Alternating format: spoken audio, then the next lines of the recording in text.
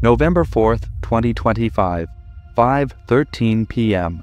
UPS flight 2976 accelerates down runway 17R in Louisville bound for Hawaii and in less than 2 minutes disaster strikes.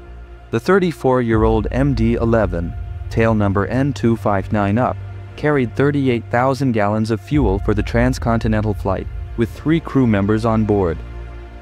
At 5:13 p.m., under clear skies and ideal conditions, the aircraft begins its takeoff roll on runway 17R.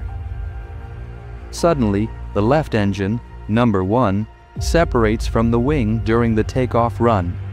The aircraft reaches V1, the decision speed, with only two engines operating. The plane must take off.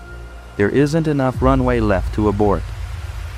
The upper engine, number 2, emits a plume of smoke and shuts down, likely struck by debris from engine 1, leaving only the right engine running.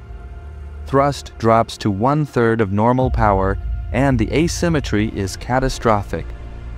With insufficient thrust, the plane descends rapidly and slams into the roof of the UPS supply chain warehouse, tearing a 300-foot gash.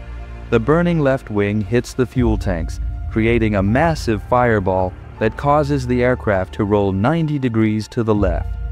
The fuselage crashes into a truck parking lot and a scrapyard, with its landing gear still extended, creating a debris field stretching roughly half a mile.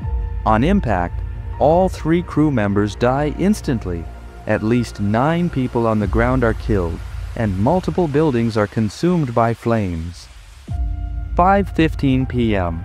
The crash is officially declared a multiple fatality accident. Hours later, the black boxes are recovered. Local authorities describe the scene as apocalyptic. UPS suspends operations at the hub, and the NTSB begins its investigation.